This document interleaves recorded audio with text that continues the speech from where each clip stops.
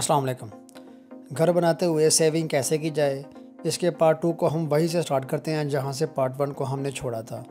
जिन भाइयों ने part one अभी तक नहीं देखी है, वो चाहें तो देख सकते हैं लिंक डिस्क्रिप्शन में मौजूद है। तो पार्ट टू में आपको वो तमाम गैर ज़रूरी काम के बारे में बताने वाला हूँ, जो कि हम घर की तमीर में सिर्फ़ लाइलमी की वजह से कर जाते हैं और अपना ख़र्चा बढ़ा लेते हैं। तो चलिए दोस्तों फर्दर टाइम वेस्ट किए बगैर वीडियो की तरफ़ बढ़ते हैं। और कोशिश करें कि छत या बीमों वगैरह में सरिया जितना ज़रूरत हो उतना ही डालें। इसके लिए डिज़ाइनिंग के फेस में जब आपका नक्शा बन रहा होता है तो उस वक़्त अपने डिज़ाइन आर्किटेक्ट को खुद ये बात बोलें कि जहाँ ज़रूरत हो वहाँ बीम या कॉलम दें।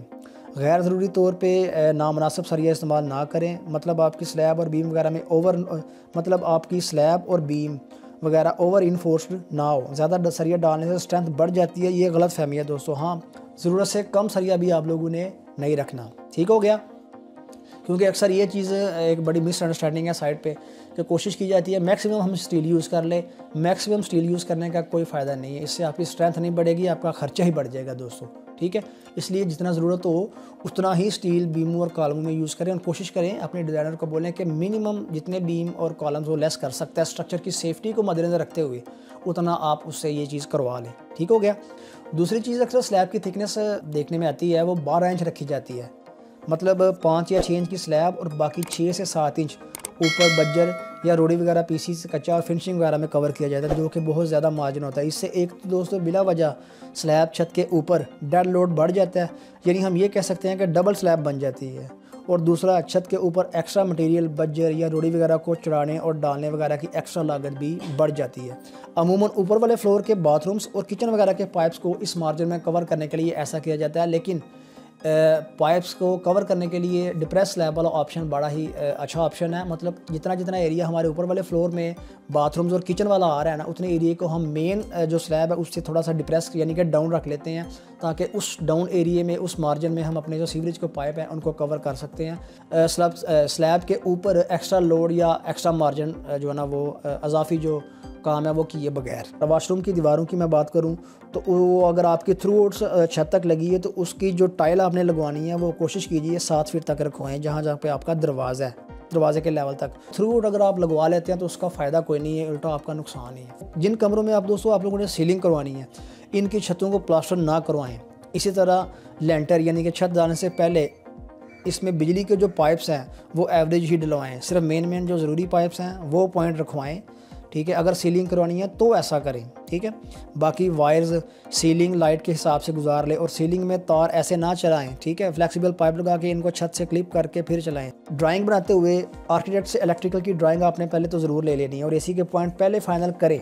चाहे आपने एसी लगवाना है या नहीं लगवाना या अगर आप इन फ्यूचर लगवाना चाह रहे हैं, फिर भी आपने जहाँ जहाँ पे रूम में आपका एसी आ रहा है, उनके पॉइंट को आपने ज़रूर पहले फाइनलाइज कर लेना उसके बाद आपने प्लास्टर से पहले एसी के लिए आपने कम से कम दो पॉइंट रखवाने हैं।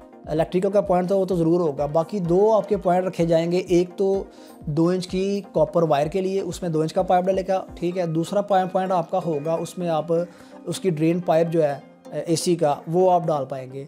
ये चीज़ें आप लोगों ने पहले कर लेनी है, ठीक है? उसके साथ साथ जहाँ पे आपका टीवी वगैरह आ रहा है बेड आ रहा है रूम में इनको भी फाइनल करके बेड के साथ साइड टेबल लैम्प के लिए उसके थ्री पिन सॉकेट के लिए, इलेक्ट्रिक पॉइंट ज़रूर रखवा लें इसी तरह जहाँ पे टीवी वगैरह आ रहा है, वहाँ भी उसके स्विच का पॉइंट, केबल की तार के लिए अपना जो पॉइंट है वो अलहदा से रखवाएँ। ठीक हो गया? ये जो जो छोटी छोटी छोटी से छोटी चीज़ें मैं दोस्तों आपको बता रहा हूँ, ये करवाता हर कोई है। लेकिन अगर आप ड्यूरिंग कंस्ट्रक्शन ड्यूरिंग मैशनरी अगर आप ये काम करवा लेते हैं प्लास्टर से पहले तो बाद में आपको तोड़ फोड़ करके जो है ना, वो ये काम करने में एक्स्ट्रा कॉस्ट आपकी नहीं लगेगी एक्स्ट्रा मशक्क़त आपसे बच जाएँगे, ठीक है? इसके इसके साथ साथ वैसे भी बाद में अगर आप तोड़ फोड़ करके ये काम करते हैं छोटे छोटे तो इससे वैसे भी आपकी चुनाई की मजबूती कम हो जाती है और नफासत भी ख़त्म हो जाती है दोस्तों। तो इसलिए ये छोटी छोटी चीज़ें दोस्तों हैं, इनको आपने मोहतात होकर देखना है, अपने घर की प्रॉपर एग्जीक्यूट एग्जीक्यूशन करनी है प्रॉपर प्लानिंग करनी है, तभी आप जो है ना वो अपने घर को सेविंग के साथ बना पाएँगे। छत की हाइट मैक्सिमम साढ़े दस से ग्यारह फीट तक होनी चाहिए। इससे ज़्यादा छत की हाइट ना रखें। अक्सर साइड्स पे ये देखने में आता है कि 12 फीट तक इसकी हाइट रखी जाती है ग्राउंड फ्लोर की, जो कि गलत होता है। इतनी ज़रूरत दोस्तों नहीं होती है। साढ़े दस से 11 feet more than enough space होती है रूम में। इतनी हाइट काफ़ी होती है, ठीक है? क्योंकि अगर आप 12 फीट कर, करेंगे तो ऑब्वियसली आपको एसी बड़ा बड़ा लगाना पड़ेगा, जिससे आपकी जो इलेक्ट्रिसिटी की कंजप्शन है, वो ज़्यादा होगी, बिल ज़्यादा आएगा, आपका ख़र्चा बढ़ेगा, ठीक है? इसलिए रूम का रूम की जो हाइट है, वो साढ़े दस से ग्यारह फीट तक आप कर सकते हैं।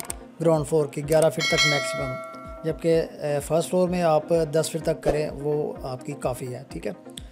ऊपर वाली स्टोरेज के लिए मटेरियल जो है, वो एक ही दफ़ा लिफ्ट कर लें, बजाय इसके कि आप बार बार कभी ईंटें चढ़ा रहे हैं, कभी रेत चढ़ा रहे हैं, कभी आप सीमेंट चढ़ा रहे हैं, एक ही दफ़ा ऊपर जो है ना, वो मटेरियल शिफ्ट कर लें, किसी से ठेका करके, ताकि बार बार की आपको ऊपर चढ़ाने की जो मजदूरी है, उससे आप बच सकें और आपकी सेविंग हो सके। लास्ट जो कॉस्ट कंट्रोल करने का तरीका है, मेरी नज़र में बहुत ही अहम है, वो है दोस्तों टाइम जी हाँ दोस्तों टाइम आप लोगों ने ज़रूर इसका ख्याल रखना है। अपने घर को स्टार्ट करने से पहले एक टाइम फ्रेम सेट कर लेना है मिनिमम से मिनिमम और जितनी जल्दी आप घर की कंस्ट्रक्शन घर को मुकम्मल कर सकते हैं, कर लें, बहुत बहुत बेहतर होगा। क्योंकि आप जानते हैं कि कंस्ट्रक्शन मटीरियल की प्राइसेस वो day by day day to day vary करती हैं। मीन्स के बढ़ ही रही होती हैं, कम नहीं होती है। तो इसलिए जितनी जल्दी आप अपना घर मुकम्मल कर पाएँगे, उतनी ही आप सेविंग कर पाएँगे। तो इस चीज़ को भी अपने जहन में ज़रूर रखिएगा दोस्तों। तो ये थी दोस्तों हमारी आज की वीडियो आज का टॉपिक वीडियो अगर आपको अच्छी लगी है, इसको लाइक करके चैनल को सब्सक्राइब कर दें और साथ मौजूद बेल आइकन पर हिट कर दें, ताकि जब भी कोई न्यू वीडियो अपलोड की जाए नोटिफिकेशन आप तक ईजिली पहुँच सके। जल्दी मिलते हैं इन फिर जल्दी किसी और इन्फॉर्मेटिव वीडियो में। तब तक के लिए अल्लाह के बाद